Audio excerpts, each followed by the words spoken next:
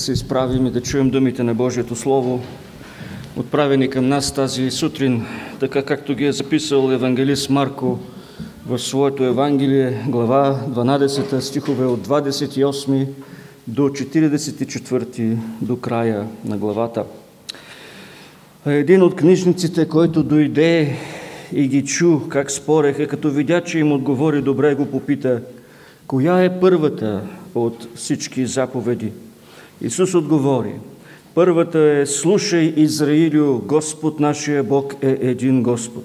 И да възлюбиш Господа своя Бог с цялото си сърце, с цялата си душа, с целия си ум и с цялата си сила.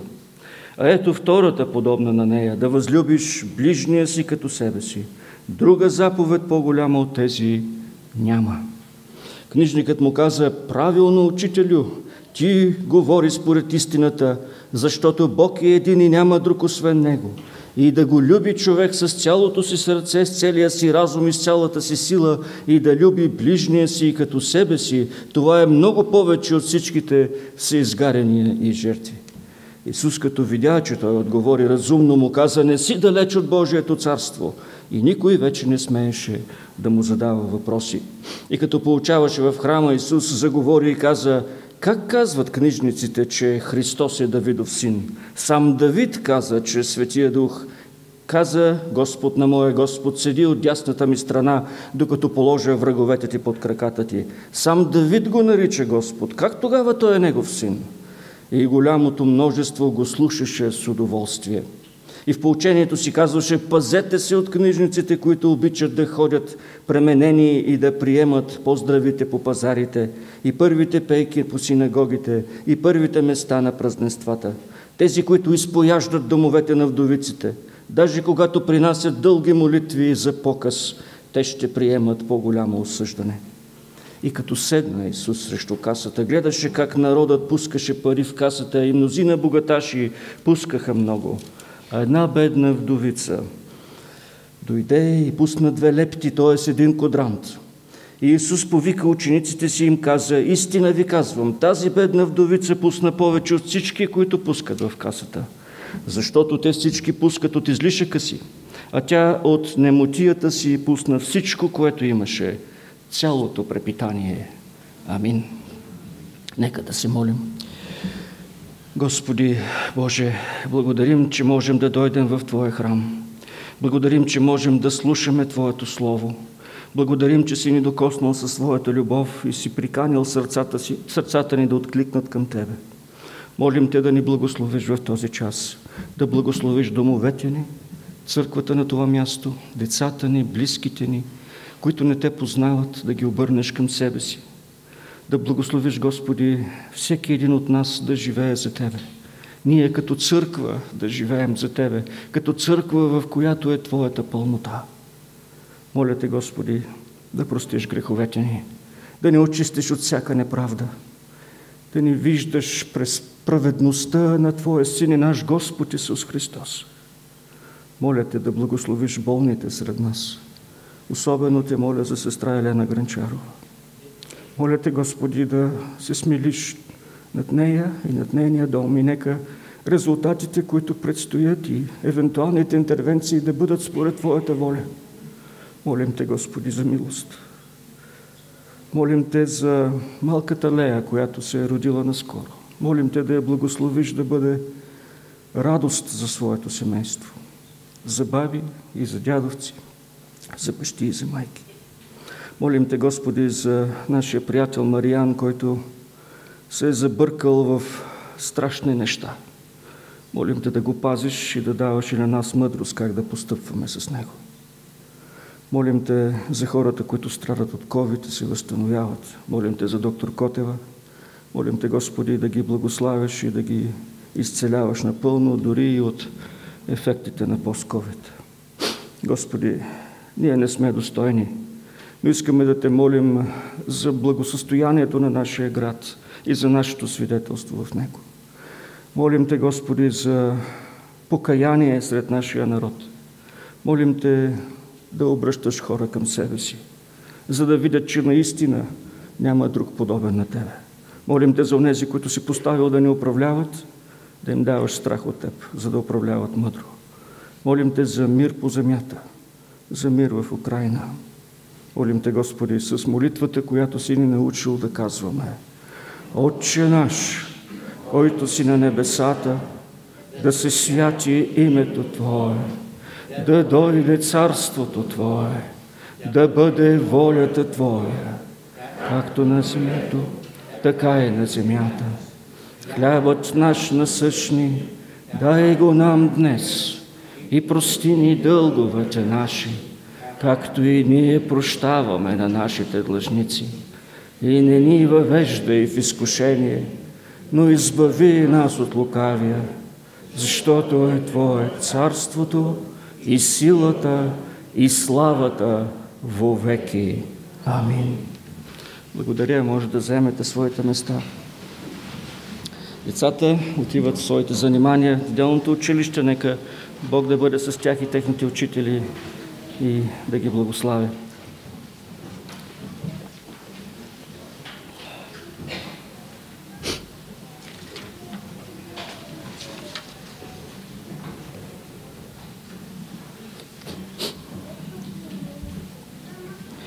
Уважаеми брати и сестри, аз много се радвам, че този текст, който прочетохме, идва към нас точно днес, около две седмици след нашето годишно събрание. Много често чувам причини хората да не искат да присъстват над него, на него. Една от многото е, че според тях по време на провеждането му се говори повече за пари, за бюджет, за материални неща, а по-малко за духовните работи и за Бога. Пасажът, който е пред нас днес, ще ни покаже колко е важно да разберем, че именно материалните неща са израз, са показател на какво ниво са духовните. Че бюджетът показва в какво вярваме, показва на какво държим, показва на какво сме се посветили. Защото колкото повече пари влагаме в едно нещо, толкова повече то стои на високо място в нашите предпочитания – ако влагаме много пари в имоти и други материални неща, ние държим на тях повече. Ако влагаме повече средства в човешки ресурс, в евангелизиране, в малки групи, то ние се интересуваме повече от това. Съвсем естествено е. Днес ще се занимаем с въпросите и задаването и как това е отражение на нашето разбиране и нашата любов към Бога. Бих искал да разделя пасажа на три части, върху които да разсъждаваме заедно – на първо място ще говорим за това, че Божията любов владее нашите емоции. На второ място, че Божията любов владее нашите мисли. И на трето място, че Божията любов дава отражение в нашия живот. И така, на първо място, Божията любов владее нашата любов и нашите емоции. Стихове от 28 до 34. Един от книжниците, който дойде и ги чу като спореха, като видя, че им отговори добре, го попита, коя е първата от всички заповеди? Исус отговори, първата е слушай, Израилю, Господ нашия Бог е един Господ и да възлюбиш Господа своя Бог с цялото си сърце, с цялата си душа, с целия си ум и с цялата си сила. А ето втората, подобна на нея, да възлюбиш ближния си като себе си. Друга заповед по-голяма от тези няма – Книжникът му каза, правилно, учителю, ти говори според истината, защото Бог е един и няма друг освен Него. И да го люби човек с цялото си сърце, с целия си разум и с цялата си сила и да люби ближния както себе си, това е много повече от всичките си изгаряния и жертви. Исус, като видя, че той отговори разумно, му каза, не си далеч от Божието царство. И никой вече не смееше да му задава въпроси. След като Господ Исус Христос затваря устата на фарисеите, иродияните и седокеите, при него идва и един законоучител. Той принадлежи към кастата на книжниците, преписвачите на закона, към законниците, тези, които тълкуват правилно Божиите разпоредби.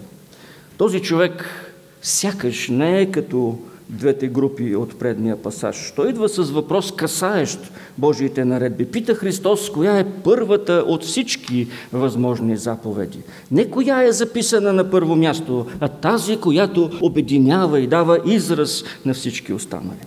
Той като че ли търси не вратичка в закона, а сякаш иска да знае кой е основният мотив на Бога за всичките заповеди, записани в Петокнижието, в първите пет книги от Библията. Господ Исус му отговаря, като му цитира най-важното откровение, което Бог дава на своя народ. Във Второзаконие 6 глава. Слушай, Израилю, Господ е нашият Бог. Господ е един. Да възлюбиш Господа, своя Бог, с цялото си сърце, с цялата си душа и с всичката си сила – и тези думи, които днес ти заповядвам да бъдат в сърцето ти. На тях да учиш усърдно синовете ти си и за тях да говориш, когато седиш в дома си, когато ходиш по пътя, когато лягаш, когато ставаш, да ги връзваш за знак на ръката си и да бъдат като превръзки над очите ти. Да ги написваш на стълбовете на вратите, на къщата си и на портите си. Тази изповед – защото това е изповед, прогласява, че Бог е един и всеки от народа му следва да го обича с цялото си сърце, с цялата си душа и с всичката си сила. Тя се рецитира всеки ден. Всеки ден по време на сутрешната и на вечерната жертва. Всеки евреин от момента, в който може да говори, вече я знае на Исус. Тази изповед, която е и заповед – поставя летвата за взаимоотношенията на човека с Бога изключително високо. Забелязвате ли коя, коя дума се повтаря най-често в това заявление? Цялото си сърце, цялата си душа, целия си ум, цялата си сила. Това значи, че нито една част от нас не бива да не е неподчинена, да не обича нашия Господ. Сърцето, което е представено в Словото като извора на живота, душата като място на нашите емоции, силата като нашите мускули и физика, всичко това е насочено не в едно повърхностно покорство, но в любов, в обич, която не бива да липсва и трябва да е най-всеотдайната, на която сме способни. Но това според Христос е невъзможно – ако се заключава само в любов към Бога. Ние не можем да си живеем, обичайки го и само толкова. Всъщност, любовта ни към Него не би била възможна, ако няма любов към ближния. Затова нашия Спасител обединява и една друга заповед, свързана с първата, а именно да се обича ближния както себе си, според Левит 18, 19 глава 18 стих. Любовта към Бога е нашето вътрешно посвещение към Него и тя се изразява в любов и към ближния. Без такава любов, отправена към другия до нас, не може да има пълноценна любов към Господа. Не само Исус, но и апостол Йоанн наставлява за това в своето първо съборно послание. Апостол Павел отива и по-далече, като заявява в Римляни 13 глава, който люби другия е изпълнил закона. Ние обичаме себе си, нали? В днешната консуматорска култура това не се набива всеки ден в главите. Гледаме живота ни да бъде лесен и колкото се може с по-малко препятствие и стрес.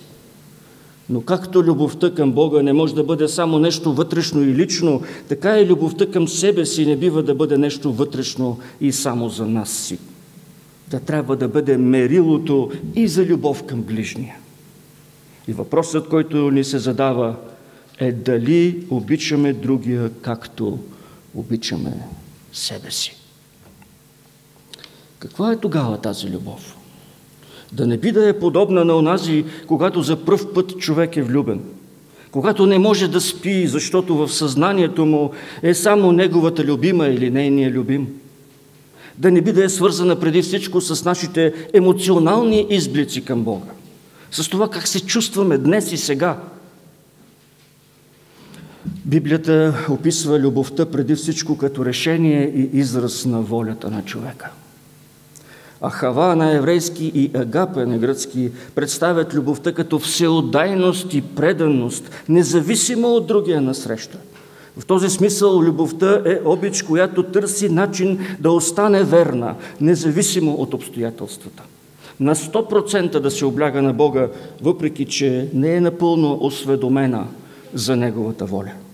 да бъде добронамерена, независимо от характера на брата или сестрата, да бъде милостива, благодатна, грижовна, независимо от настроенията на другия от среща. А защо трябва да е такава? Защо да не е като днешната? Бурна и емоционална, на приливи и на отливи. Днес е има, а утре е охладняла. Причината е, че Божията любов към нас не е такава. Тя не е капризна, тя не се променя от обстоятелства, от грехове, от слабости. Тя стои верно на кръста. Тя тайства за нас от дясната страна на величието на високо. Тя ще дойде и ще ни възкреси за вечно владичество в преобразения свят. И ето го и тук, нашият книжник, нашият приятел, законника. Той едва ли не изръкоплясква на Господ Исус. Доволен е от отговора. Не само това, но и го разбира, осъзнава го, счита го за правилен дори и от негова гледна точка. Като че ли той би получавал така хората. Даже би казал, че би пренебрегнал цялата жертвена система, която разбира се води до това да накара човека да се покланя на Бога с дух и истина в сърцето си. Защото жертва плюс безсърдечие е равно на оставяне на грех, в греховете, както казва апостола. Но какво означава истинско поклонение на Бога? Как се покланеш на Бога, когато заколеш агнето? Как разбираш дали грехът ти е простен, след като си принесъл жертва на Бога? Без съмнение, ако се обърнете към закона, особено в книгата Левит, ще видите, че за всяка описана жертва се казва, че щом човек е принесе, положи ръка на главата на животното, заколи го и го предаде подготвено на свещеника и той го принесе в жертва на алтара, Бог ще му прости. Бог ще му прости греха, за който е дошъл да иска прошка. Това е записано след всяко наставление за жертвоприношение. Греховете му ще бъдат простени. Онова, което се иска от грешника е само едно нещо. Едно единствено нещо. Пророка Вакум го е записал в своята книга, втора глава. А праведният, казва той, чрез вярата си ще живее. Иска се вяра. Нито повече, нито по-малко. Само вяра. А какво означава тя? Какво означава вярата? Тя значи доверие, любов, упование, увереност в нещо, което още не е станало и не се вижда, както подчертава автора на посланието към евреите. Доверие, любов, упование, увереност в някого, когато сега не можем да видим с нашите сетива. Имаше ли такава любов книжника? Имаше ли такава вяра? Защото според Моисей вярата не е само доверие в това, което Бог казва, че ще прости на грешника греховете, но и в това, чрез кого ще го направи. Той пише за него в Второзаконие 18 глава. Ще им издигна от сред братята им пророк като тебе и ще сложа думите си в устата му и той ще им говори всичко, което аз му заповядам. И човекът, който не послуша думите ми, който той ще говори в, които той ще говори в мое име, аз ще търся сметка от него.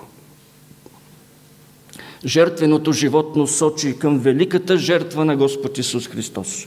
На този, който дойде и спря жертвоприношенията в храма по време на Пасхата, защото Той е повече от тях. На този, чрез когото има истинска прошка, веднъж и завинаги – когато полага ръка върху главата на агнето, еврей навярва не само на думите на Бога, че му прощава, но и в името на идващия, вечен свещеник, цар и пророк, Месията, помазаника, Спасителя на Израил и на света. Защото, както Исус ще учи двамата по пътя за Емаус, целият Стар Завет говори за Него. Ако човек види тази необяснима любов, ако може поне за малко да разбере нейните ширина, дължина, височина и дълбочина, той би приклонил всичко в себе си в доживотно ученичество и следовничество на думите Би се покорил на нейното господство, би обичал, защото е възлюбен. Осъзнал ли си колко много Бог те обича? Разбрал ли си колко много е платил за тебе? Прозрял ли си, че държи на теб с цената на своя син? Ако не, замисли се. Защото със всеки изминат ден времето те приближава до деня, в който ще го срещнеш. Независимо дали вярваш в това или не. Дано да не чуеш, че си бил на крачка от царството и не си я направил. Дано да не си като книжника, защото подобно на богатия младеж и той не отиде по-далече от своята философия, от своите убеждения. Продължи да държи на своето. Емоциите му не бяха докоснати от Божията любов. А ти? Ще направиш ли следващата стъпка да признаеш Исус като Давидов син и като Давидов Господ? На второ място, Божията любов направлява нашите мисли. Стихове от 35 до 37. И когато получаваше в храма, Исус заговори и каза, как казват книжниците, книжниците, че Христос е Давидов син. Сам Давид казва, че Святия Дух. Каза Господ на моя Господ, седи от дясната ми страна, докато положа враговете ти под краката ти. Сам Давид го нарича Господ. Как тогава той е Негов син? И голямото множество го слушаше с удоволствие. Ние сме емоционални същества, без съмнение. За всяко нещо се изразяваме с много жар в сърцата си, дори и да не го показваме. Много често възприемаме и любовта и доверието в някого или нещо именно на базата на своите емоции. Приемаме го, защото ни харесва. Сприятеляваме се, защото ще ни бъде хубаво. Споделяме, защото знаем, че ще ни накара да се чувстваме добре и ще ни слуша. Но вярата и любовта в нас не би следвало да са плод само на нашите емоции. Господ Исус предизвиква множеството, включително и книжника, вероятно, да се сблъскат със своя разум. Той им задава въпрос, на който трябва да отговорят осъзнато. За да се влезе в царството, за да стане някой ученик Христов, то той или тя следва да знаят в кого са повярвали. Апостол Павел казва във 2 Тимотей 1 глава – не се срамувам, и той говори за своето затворничество, за своите окови. Той казва, не се срамувам, защото зная в кого съм повярвал. И съм уверен, че той е силен да опази до онзи ден онова, което съм му поверил. Зная и съм уверен.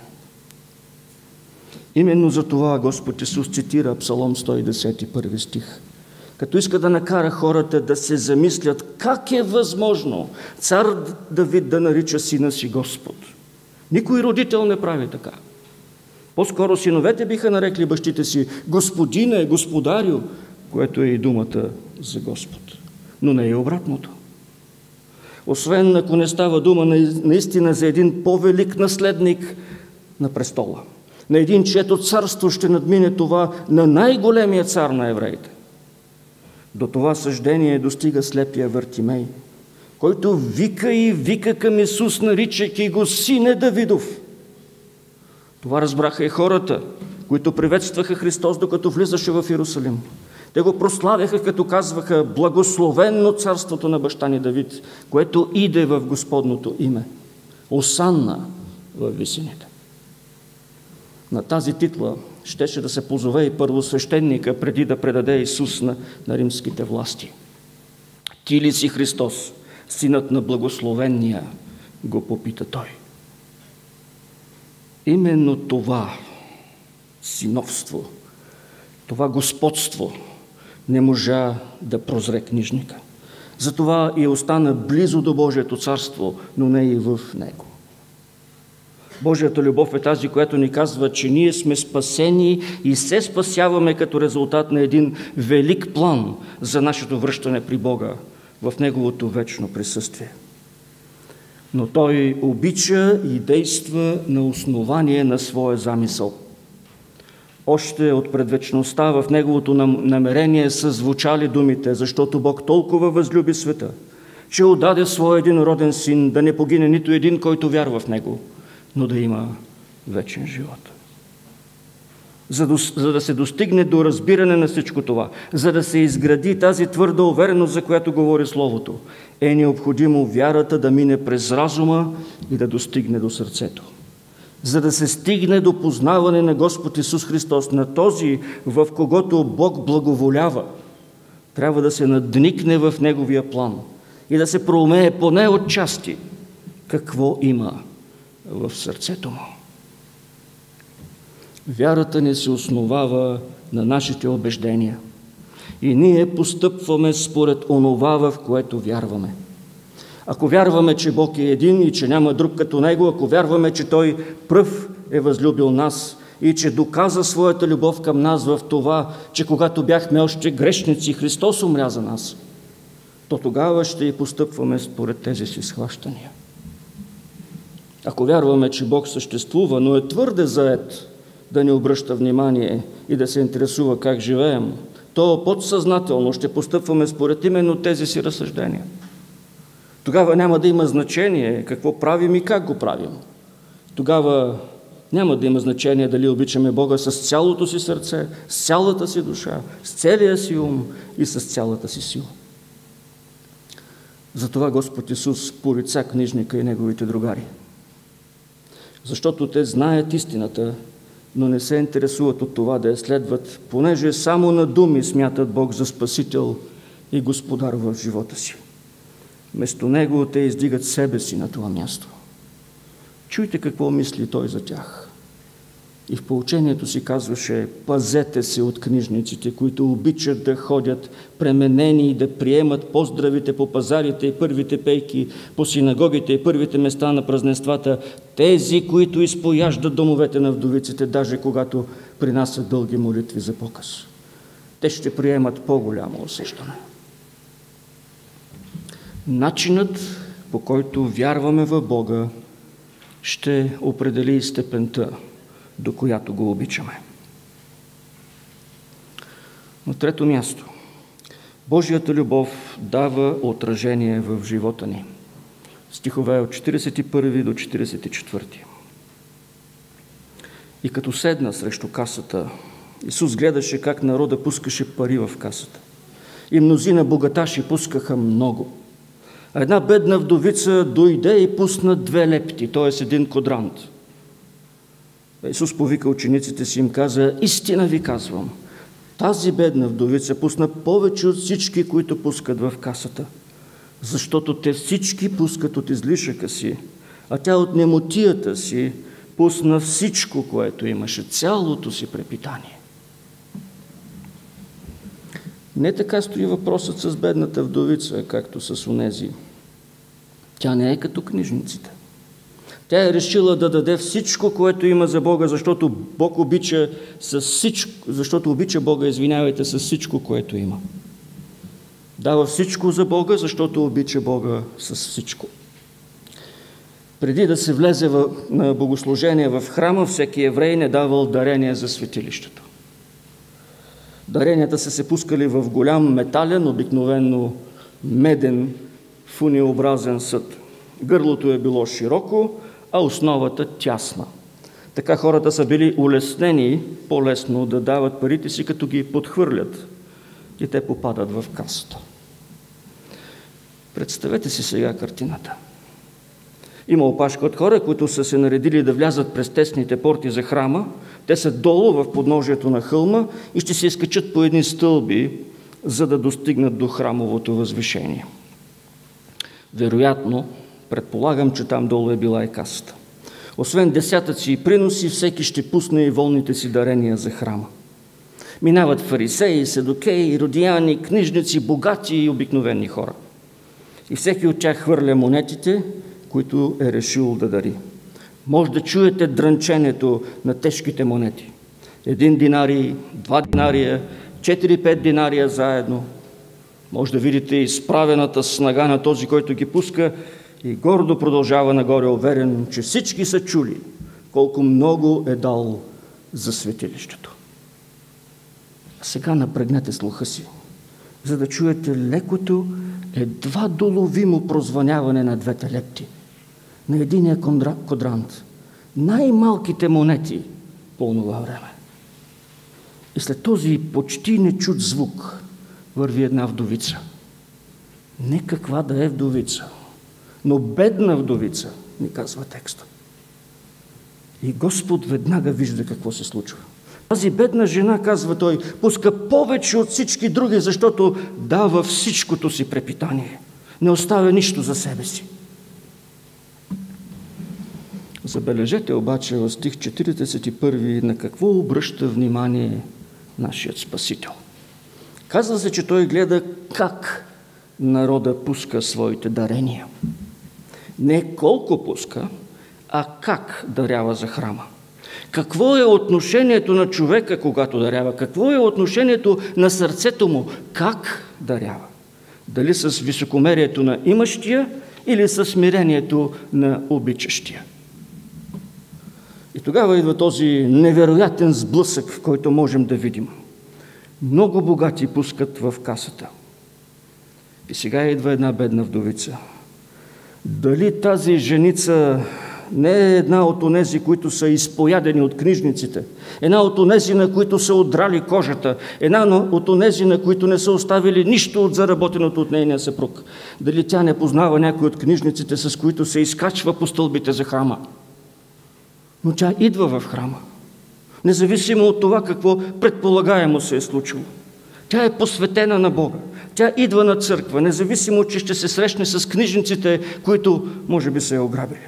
Но тя не се интересува от това. Тя се интересува от Бога и го обича истински. Независимо колко много е загубила, тя е на църква в поклонение на Господа, независимо от всичко. И тя пуска двете лепти. Текста ни казва буквално, че пуска две листенца. Толкова са малки и толкова леки, че едва ли са се чули как постъпват в касата. Господ Исус казва нещо забележително. Той казва на учениците си, че тя пуска повече. Тя пуска повече, повече от фарисеите, садокеите, родияните, книжниците, богатите, повече от всички дори.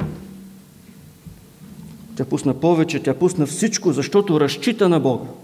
Тя много добре знае със своето съзнание, че Той е Бог на сирачетата, на вдовиците и на чужденците. Тези факти са минали през съзнанието и, и са достигнали до сърцето. Затова сега с вяра в Бога се проявяват и в нейния живот.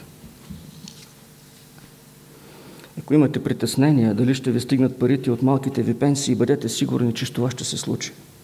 Бог няма да остави своите си, но ще се погрижи за тях, както го е правил винаги. Така вярваше тази бедна вдовица, затова и така постъпи. Нещо друго бих искал да отбележим. Тази жена дарява в един корумпиран храм. Тя пусна монетите си в една институция, проклета от Господ Исус, само няколко дни преди това. Много хора днес питат, как да давам, ако се съмнявам, че ръководството на църквата използва правилно моите дарения? Отговорът е много прост. По същия начин, по който даваше вдовицата. Тя знаеше, че трябва да се дарява в храма и правеше това, независимо, че свещениците не бяха стока. Когато даряваме за Бога, не гледаме на хората. Тя не се интересуваше за какво ще се използват двете лепти. Можеха да ги използват и за това да доплатят на Юда Искариотски 30-те сребърника за предателството на Господа. Защото, както знаем, тези пари излязоха от храмовата каса. Но тя не се интересуваше къде ще отидат парите. За нея беше важно какво мисли Бог и как Той се отнася към нея. Нищо друго. Все пак Той и само Той владееше храма, владее и църквата, независимо дали средствата се разходват правилно или не. И всеки един ще дава отчет пред Него лично един ден. Всяко църковно ръководство също. В заключение бих искал да кажа – Исус видя как се е давало тогава. Вижда как даваме и сега. Той стои пред дискуса и касата и вижда как даваме и ние днес. Вижда как е разположено сърцето ни. Вижда притесненията и съмненията ни. Не само това, но Исус знае как даваме. Той знаеше много добре с какви мотиви вдовицата пусна двете си лепти. Той знае и твоите и моите мотиви.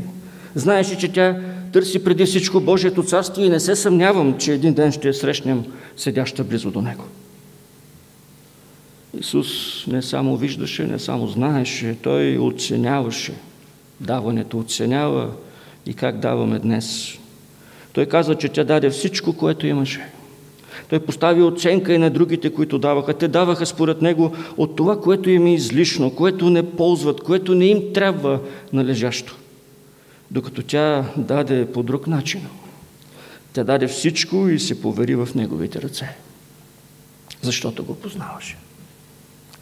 Сами виждаме, че само когато се погледне един бюджет, само когато се види кой колко е най-важно как дава за Божието дело, може да се направи извод дали обичаме Бога с, с цялото си сърце, с цялата си душа, с целия си ум и с цялата си сила. Докато имаше банкноти от 2 лева, касиерите на църквите бяха в чудо как да ги уедрят. Влизаха в супермаркети, банки, почти, какви ли не институции с молби да им помогнат. Приличаха на много богати служители с едрите пачки от по 2 лева. Сега, когато има само монети от по 2 лева, е също толкова трудно. С тази разлика, че те сега тежат повече. Когато се погледне касата на църквата, се вижда къде е сърцето на вярващите. И дали двете левчета са равни на двете лепти. Нека се молим. Господи, Ти виждаш сърцата ни, знаеш помислите ни, оценяваш действията ни. И ние сме пред Тебе разкрити. Искаме, Господи, да положим сърцата си в Твоята власт, защото знаем, знаем с разума си, че Ти си Бог, който обича и се грижи. Дава слънцето си над праведните и неправедните. И ние купнеем да зависим от Тебе. Защото иначе, иначе е твърде опасно да загубим себе си. Благодарим Ти, че можем да се намерим в Тебе, изгушени там, да търсим да живеем за Тебе. С целия си ум, с цялото си сърце, с цялата си сила и с цялата си душа. Амин.